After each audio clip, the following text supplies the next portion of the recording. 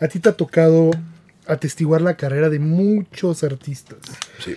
Basado en eso, ¿por qué crees que algunos artistas triunfan y otros no? Porque unos conectan y otros no. Qué pregunta complicada. Yo siempre siento que hay una parte de suerte que tiene que tener, ¿no? O sea, digo, como todo en la vida. O sea, ese golpe con el palo, si entraba, cambiaba la historia. Algo de eso tienes que tener. Tienes que tener talento, ¿no? Y trabajar duro. Porque, o sea, tú te va- haces un primer disco, te va muy bien, vamos a decir. ¿Y el segundo?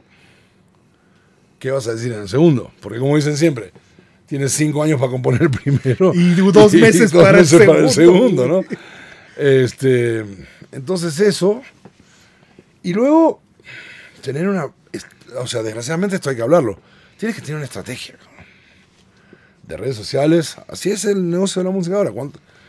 Yo veo bandas que vienen a grabar y se sacan fotos. O sea, graben, loco. están- hagan las canciones. No importa el Instagram. Luego, luego se sacan fotos cuando terminen. Pero es importante, ¿no? O sea, tienes que tener una estrategia de qué vas a hacer con ese material. O sea, yo también cuando viene una banda a, a mí, le pregunto, ¿qué vas a hacer con esto? Porque se lo vas a mostrar a tu, a tu prima y a tu tía.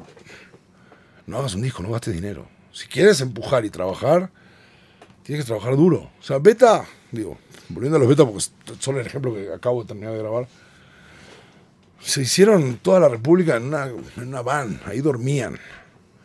¿Sabes cómo olía ese, ese pedo? No, no me Eh, imagino, no. Bueno, pero hicieron toda la República así. Tocando en marisquerías, ¿entiendes? Con sonido de dos pesos. No lo quieren hacer más, pero ya lo hicieron. Y ahora hacen un lunario. Digo, tienes que trabajar en tu nivel, ¿no? Si quieres ser, no sé, eh, no sé, Rihanna, Caliucci, este, no sé, todas las chavas estas. A mí me parece sensacional toda esta movida de chavas urbanas que hay que me parece alucinante el power que traen, por ejemplo. Parece increíble todo eso. Está Carol G también ahorita. Karol a G. tope. El disco suena. Todo eso, bueno, ahí sí necesitas un músculo de una compañía, ¿no? O sea, para llegar a ese nivel, a, a estadio, a.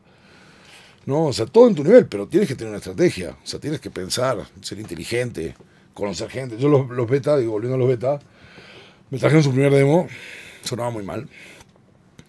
Y, y querían vivir en Puebla y, chavos, tienen que vivir aquí por lo menos cuatro o cinco años. Porque los tengo que llevar a presentarles gente. Que los conozcan, ¿no? Digo.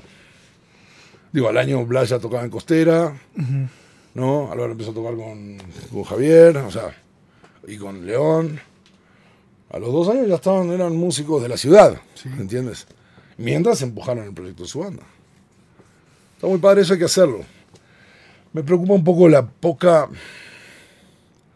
los pocos lugares y la poca recep- receptividad que hay hacia el rock aquí en México.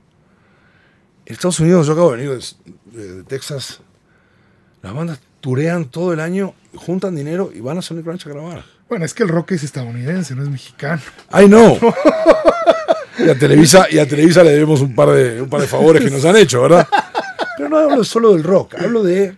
Sí, de la infraestructura De de, la en vivo. infraestructura, sí. Claro. Sí, sí, ¿cuántas chavas hay? Yo veo ahora, por ejemplo, ahora hicimos una plaga hace dos años con Hello y invitaron a todas chavas nuevas a cantar. Increíbles. Pero, ¿sabes? Y si te agarra una compañía, también tienes que saber que el deal es uno, ¿no?